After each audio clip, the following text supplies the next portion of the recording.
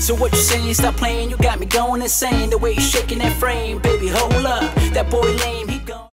Hey guys, welcome back to the Nova Show. It's your host, International Nova, and I know I've been gone for about a week or so, but I got a lot of exciting news to tell you guys. But we're not messing around today, so let's get right to the news.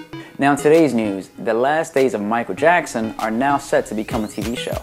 Now, it's just been announced that Warner Brothers has signed a development and production deal with author Tavis Smiley to turn his book, Before You Judge Me The Triumph and Tragedy of Michael Jackson, into a television series. Now, the show itself is set to revolve around the final 16 weeks of Michael Jackson's life, and although no release date has been set, it's already causing quite a stir.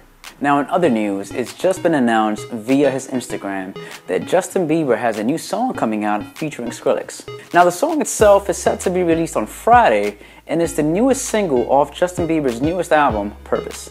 Now, speaking of Justin Bieber, he also released another song this past weekend on OVO Sound Radio featuring his ex girlfriend, Selena Gomez. Now, although the song has not been released officially, it is also set to appear on Justin's new album, Purpose, set to be released on November 13th. Go out and get it.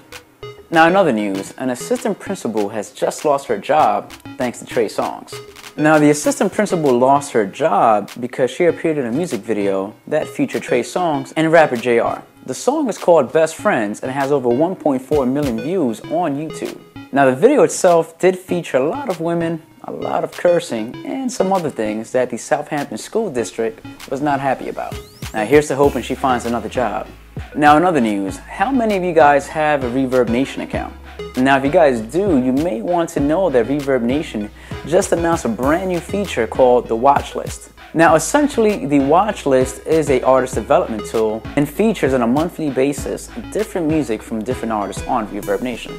Now, for artists, this is an amazing promotional opportunity. So if you have Reverb Nation, I suggest you head over there and go check this out. Now, how many of you guys saw the BET Awards last week? Some of you may have noticed a familiar face at the awards. I was at the red carpet, aka the green carpet, as it was sponsored by Sprite. I want to thank BET for the invite. The event was amazing and I had an amazing, amazing weekend. Now tune in for Friday's episode. We have some big news coming up, as well as our artist spotlight. So please keep posting links, keep sending me some music. I want to check those out and hopefully feature you guys on The Nova Show. So that's it for The Nova Show. As always, thank you for tuning in. Until next time, you guys take care.